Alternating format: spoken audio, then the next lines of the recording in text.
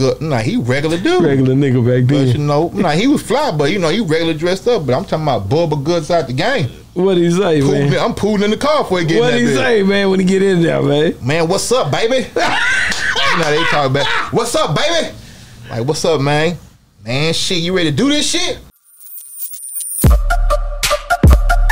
Yeah, we on Boss Talk 101. 101. Yeah, we gonna talk. Explain to me that that that the time when you and when, when you and uh Pimp C put that project together, when y'all put that song together. Just give me a rundown on how you guys Man, we was that. recording a lot of stuff for PKO. And Okay. I, and I was recording my album. Okay. And back then it was real studio time, ten hour blocks, twelve hour blocks, and you go from three to whatever time at night. And I came to the studio and Snake was like, well now my partner Pony J Nino was like, nigga, you doing a Pimp C song today. And I was like, nigga, stop playing with me. You know, and back then you gonna watch Rap City, you know, whatever music box song. I'm thinking they bullshitting or whatever it might be.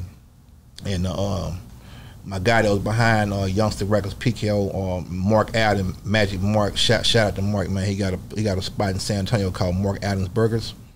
That's the joint. If you ever in San Antonio, fuck with it. Man. But uh, this cat here, you know, we was under Midwest Records right on Greenville and Forest Lane, and he, you know, I was at the studio like, man, you gonna do a song with Pimp C today? Like you bullshitting, you know what I'm saying? Stop playing with me, man. you know, y'all playing, but I'm down to like the ending of recording my first album. And he's like, man, it's time to go get him, you know. So I got, my, I got my ass up, like, you, you want me to go get him? Yeah, go get him. Tell you what, go get him. I'm like, man, stop playing with me, bro. Like y'all bullshitting and playing. you didn't believe him. I did not believe him, not knowing they'd already talked to him, showed him my album cover and He everything. already seen it. Man, he already was up on top He of him. liked you know? it. He loved it. And then when I picked him up, you know what I'm saying? He come out the apartment. It wasn't no fucking, you know, Yeah, no. pin me the location. You had to hell no. listen to the directions Yeah. and shit like that. And I went down the street, well, not too far where we was, to pick him up and come out this goddamn apartment. Man, I damn near lost it.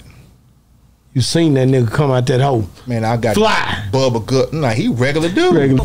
Wheel, bitch, I'm working wood wheel. Uh, sedan to bill. House on the hill. The nigga back But you know, nah, he was fly, but you know, he regular dressed up. But I'm talking about Bubba Goods out the game. What he say, Pulling- man? I'm pulling in the car for he get What in he that bitch. say, man, when he get in there, man? Man, what's up, baby? you know they talk about what's up, baby? Like, what's up, man? Man, shit, you ready to do this shit? I'm like, hell yeah, I'm playing play some beats.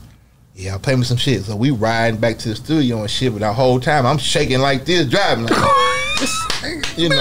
C in this hole. You know, we stopped at a gas station before we get to the back to the studio, and we sat down, and we talked, and I'm rolling up and shit.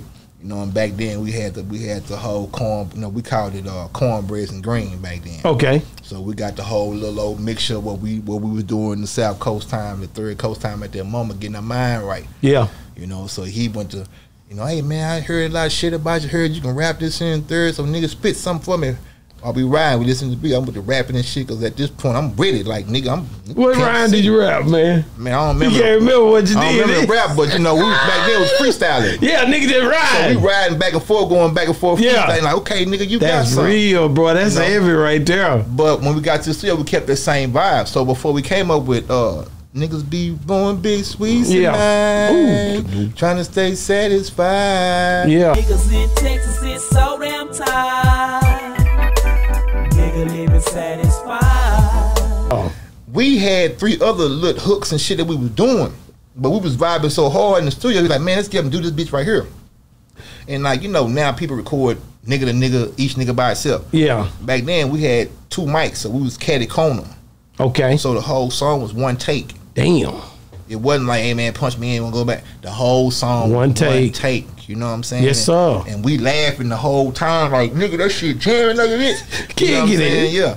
And he taught me a lot about the whole confidence, the whole persona. You know, and back then, you know, I was even humble. Then he was like, "Kotton man, one day you got to stick your nose up at these niggas, man." You know, Man. but that's how he was. But he embraced me from that, and then it didn't stop because I would go when I when I fucked up at the radio station. I went to Houston, and it was already known down where this the nigga that tore the radio station up. Yeah, we on Boss Talk 101. 101. Yeah, we gonna talk.